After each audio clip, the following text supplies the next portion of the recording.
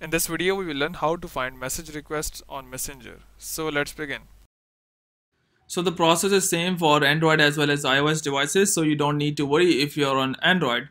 Uh, first make sure that you are connected with the internet and once connected with the internet uh, simply go and open up your messenger. So here we go. So once you are on your messenger you would be seeing an option of uh, this message request at the left top corner. So if you tap on your profile icon at the left top corner, this, this would open up your profile. Here simply go and tap on this message requests.